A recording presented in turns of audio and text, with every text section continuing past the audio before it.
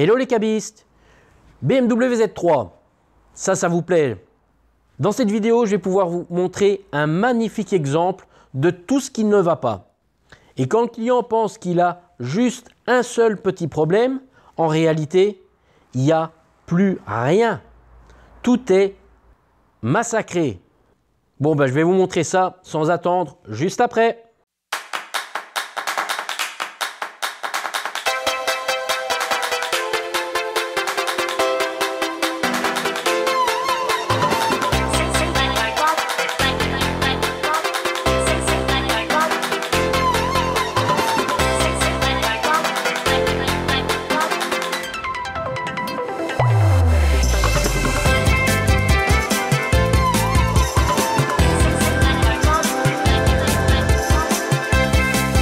Bonjour à toutes et à tous et bienvenue chez l'expert du cabriolet. Eh bien aujourd'hui, on va encore une fois parler de la BMW Z3.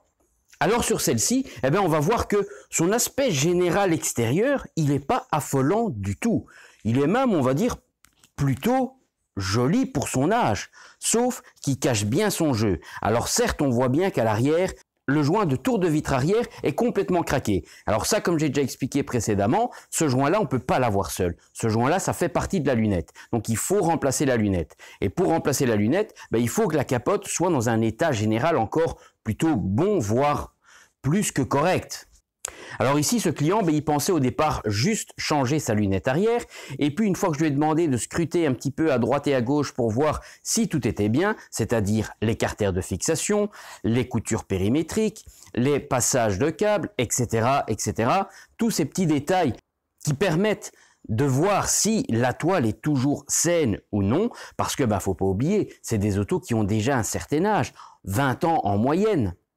Et si elles n'ont jamais été entretenues, si elles ont subi des dégradations extérieures par des savons inadaptés, si le soleil, la pluie, la neige, en somme l'exposition aux intempéries de toute une année, ben tout ça, ça va laisser des marques plutôt très très importantes sur la toile de capote. Alors elles seront peut-être pas visibles parce que la toile sera, on va dire, propre et unie de l'extérieur, même si elle n'est pas avec un éclat comme neuf, mais déjà à l'intérieur sur une Z3, comme on va pouvoir voir ici, on peut déjà voir s'il y a une belle fatigue ou non.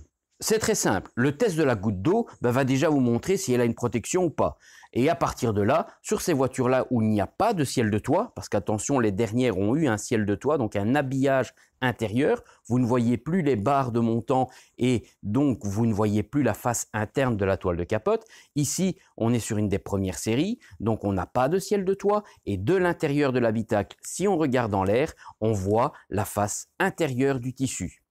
Si cette face, eh ben, elle est déjà couverte d'auréoles, fortement décolorée, voire abîmée, craquée, fissurée, ben, tout ça, ça vous montre que la capote, elle est déjà très loin, voire en fin de vie, voire peut-être totalement HS. Les carters de fixation, comme j'ai déjà montré, les plus faciles à voir, ce sont les deux coins avant, gauche et droite. S'ils sont craqués, ben vous avez les bords qui baillent vers le haut. C'est déjà aussi très mauvais signe. Le câble de tension latérale, s'il est visible du côté de la voiture, c'est également très mauvais signe. Ça veut dire que la toile a été déchirée ou qu'elle est tout simplement pourrie et a disparu.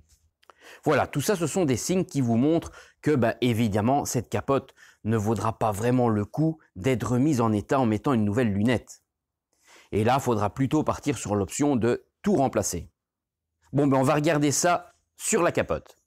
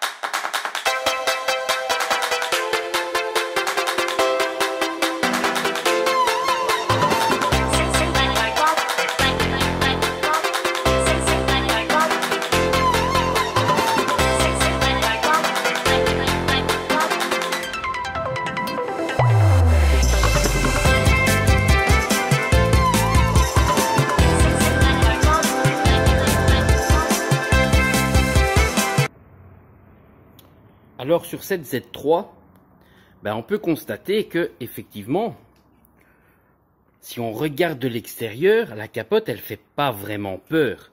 On voit qu'elle est plutôt jeune, qu'elle est décolorée, qu'il y a certaines petites traces d'usure, c'est pas des trous, c'est un frottement qui a certes abîmé la capote de manière irréversible, mais ça n'effraie pas quelqu'un.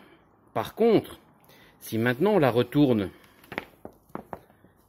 là, c'est plus la même histoire. Toute cette partie où normalement c'est une gaine, ben on peut voir que c'est complètement déchiré. Je déchire ça comme du papier. On peut voir que là, non seulement c'est certes très usé, mais encore une fois, voilà, je déchire ça avec deux doigts tout simplement. Ça s'épluche comme une mandarine. Alors on peut déjà aussi voir que c'est très très décoloré. En fait, simplement, cette capote, elle a surbrûlé. Alors on a évidemment les plastiques de carter qui sont cassés. Il tient euh, miraculeusement par un petit centimètre encore ici, mais sinon on peut voir qu'il est euh, bien bien amoché. La toile, ben, elle est pourrie. Elle est pourrie tout simplement parce qu'elle a brûlé, elle est cramée, elle est cuite de l'intérieur. Ben, tout ça, évidemment, c'est les conséquences du non-entretien.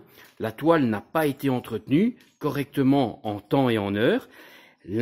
Protection imperméabilisante n'étant plus là, il n'y avait plus de protection. La toile s'est imprégnée d'eau, s'est abîmée, s'est mouillée, a séché, répété, la chaleur, l'utilisation, etc., etc. Tout s'accumuler fait qu'aujourd'hui, ben, toute la capote est dans un état complètement HS. Et l'autre côté, ben, c'est la même chose. Si on s'approche de l'autre côté, ben on va constater que c'est c'est pas beaucoup mieux en fait. Hein. Voilà, les côtés, ben tout est pourri, il n'y a plus rien qui tient, tout est déchiré. Même chose ici, hein. Euh, on est euh, on est sur une toile. Voilà, je, je, je l'épluche. Voyez, je la détache tout simplement. Hein. Il n'y a rien de je, je force pas, j'ai pas d'outils. Hein. C'est vraiment, euh, je, je, dois même pas gratter. Hein, voilà, hop, voyez. Ici, par contre, bah, il n'y a même plus de carter. On voit, il est complètement disparu, cassé. Eh bien voilà, on a pu constater que cette capote, elle était plutôt en fin de vie et la seule vraie solution, c'était tout simplement de la remplacer. Parce que l'intérieur est pourri, on a bien vu, il se déchire comme du papier, donc ça veut dire que cette capote est plus que morte. En fait, cette capote, elle a surcuit. C'est une capote qui a dû être dans une région très ensoleillée et être exposée énormément au soleil et très certainement recevoir l'application de produits inadaptés, les deux cumulés, la chaleur intense, les produits inadaptés qui eux aussi dessèchent et font craquer les parties caoutchouteuses, donc la membrane intermédiaire, ben les deux cumulés font que cette capote aujourd'hui, ben c'est un carton. Ça n'est plus du tout une toile de capote, elle n'est plus étanche, elle est cartonneuse, elle se déchire toute seule. Cette capote, elle est juste bonne à aller direct à la poubelle. Donc, sur cette Z3, j'ai forcément remis une nouvelle capote. On va faire un petit tour de ce nouveau visuel. Et voilà donc notre Z3. Alors on constate que maintenant on a une belle lunette bien translucide. On voit bien ce qui se passe à l'intérieur. On a un beau joint qui est bien maintenu. Ici le client a fait le choix de reprendre une version comme d'origine, donc avec le fameux zip. Et donc on est sur la version avec une seule couture. C'est comme à l'origine. Alors toutes les finitions, eh ben, elles tombent tip top. On peut regarder au niveau de notre jour de vitre. On peut regarder à l'avant. Si on regarde notre petit rebord, ben, il ne baille pas du tout. On est bien dans l'alignement. Il est bien vers le bas. Nos câbles tendeurs maintiennent notre capote. Nos lignes au niveau des arceaux bah, sont droites, on est pile dessus. Ça se voit beaucoup moins fort quand tout est neuf, forcément, il n'y a pas le blanchiment qui montre les, lignes plus claires, un petit peu comme ça. De ce côté, même chose, on a nos jours qui tombent bien, on voit peut-être un peu mieux dans ce sens-ci avec le, le contre-jour. Voilà, on est bien. Même chose à l'avant. Notre rebord, lui aussi, est bien vers le bas. Il ne bique pas vers le côté ou vers le haut. Notre jour de vitre, il est bien dans l'alignement.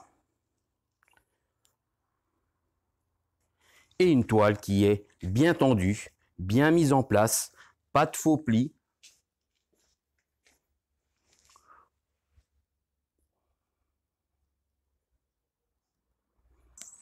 Si maintenant on regarde nos intérieurs, eh bien l'intérieur est bien bien noir. On n'a pas de traces jaunâtres, on n'a pas de fissures, tout est bien noir, bien net. Ce serait triste qu'il y ait un problème puisque tout est neuf. Même chose de ce côté. On peut bien voir qu'il n'y a pas de jaunissement. On est sur une toile parfaite. Eh bien, comme d'habitude, voilà encore un beau travail de fait.